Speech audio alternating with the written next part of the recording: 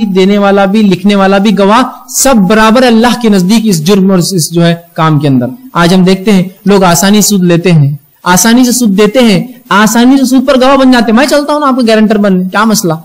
میں گواہی دوں گا آپ کی دنیا اور آخرت میں کہ میں ساتھ تھا آپ کے۔ اور سود پر آسانی سے گواہی دے رہے سب پر لانا کے اوپر سے نیچے تک۔ آئیے، اسی طرح اللہ کے رسول صلی اللہ علیہ وسلم فرماتے ہیں، یہ حدیث کے اندر حاکم کی روایت ہے یہ۔ جس میں اللہ کے رسول صلی اللہ علیہ وسلم فرماتے ابو رضی اللہ عنہ حدیث کے راوی کہا کہ چار آدمیوں پر اللہ کا حق ہے کہ ان کو کبھی جنت نصیب نہ کرے۔ چار آدمی ایسے ہیں جن کو اللہ پر، اللہ کو حق ہے، ان کو کبھی جنت نصیب نہیں کریں گا۔ مطلب ہمیشہ جہنم میں جلیں گے۔ پہلا فرمایا، شراب خور۔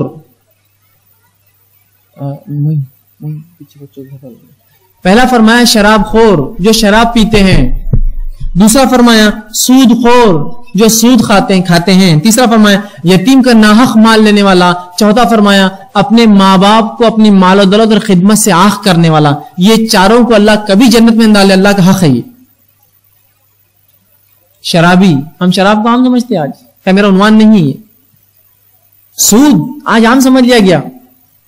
اللہ ان کو کبھی جنت میں رسول اللہ فرماتے اللہ کا حق ہے کہ ان کو جنت میں کبھی نہ ڈالے ان لوگوں سود خور۔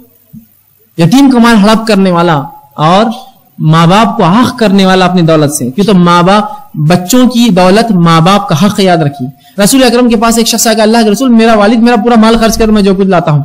کیا اسے بچا کے رکھوں؟ تاکید کیجیے آپ اس کو۔ رسول اکرم اس کے والد کو بلایا اور کہا، اس لڑکے سے تو اور تیرا مال دونوں تیرے باپ کا ہے۔ تو خود بھی تیرے باپ کا اس کا مال بھی تیرا ہے، تو اس کو روک نہیں سکتا۔ خرچ کرنے دے کھول دے اس کے لیے۔ تو جو ماں باپ کو حق کر دے اپنی دولت سے اپنی خدمت سے یہ بھی جنت میں نہیں جائیں گا اللہ کا حق ہے کہ ان لوگوں کو جہنم میں ڈالے ہمیشہ کے لیے۔ آئیے، اس کے علاوہ عبداللہ ابن مسعود رضی حدیث کے راوی ہیں۔ آپ فرماتے ہیں کہ اللہ کے رسول صلی اللہ علیہ وسلم نے فرمایا، یہ حدیث جو